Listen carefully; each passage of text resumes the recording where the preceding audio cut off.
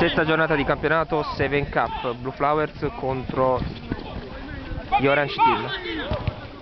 Siamo al 22esimo del primo tempo? Che minuto è Sergio? Siamo più o meno intorno al finale di primo tempo. Ok. C'è per giù il quindicesimo e ventesimo. Punteggio? 2-1 Blue Flowers. Non, non so se hai notato la papera del portiere del- dei Blue Flowers. Sull'uscita. Sì. Ci do No, non l'ho notato. Un piccolo pallonetto. Un Eh, ma piccolo lui pallonetto. purtroppo, come sappiamo, è molto bravo tra i pali. Per il Naci se fosse pensare alla telecamera. eh, eh, Vabbè, ha fischiato, dai, ha fischiato vuol dire che ci sta. È più arbitro lui di te.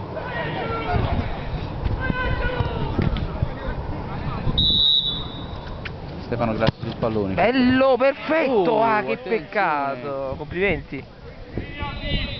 Numero 7 Stefano Grasso ci prova da fermo, visto che in movimento non è più cosa sua ormai. Come mai? Eh, una Stefano lunga Grasso ormai sì, giocatore praticamente finito, Sì, eh. si dedica soltanto alle femmine Da Giovanni. sposate tra l'altro.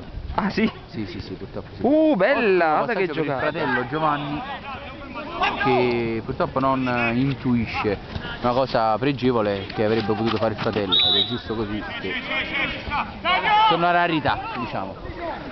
Riparte da Nicola. Sono un po' nervosi o rispetto eh sì perché loro già sono nervosi loro poi in più c'è il punteggio che non li premia e quindi vabbè comunque rispetto alle altre partite notiamo che gli Orange un po' più calmi. sì, sì, sono abbastanza migliorati Sarà anche la presenza del nuovo mister. La presenza del mister Perrotta è fondamentale secondo noi perché riesce a gestire tecnicamente e tatticamente la partita ma anche molto sul livello morale. Vediamo Pozziello in area che guadagna spazio, metri, arriva Vini, grande parata del portiere che recupera magari una mezza paperella sul primo gol degli Orange, sull'unico gol degli Orange.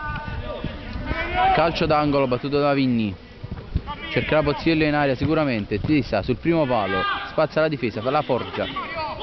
In posizione Pirlo manda palla al russo che non la intercetta e quindi si partirà da Livio Barone verso Mario Perrotta. Di nuovo trova Pozziello, grande portiere in Uh. uscita, una palla che poteva tranquillamente bloccare.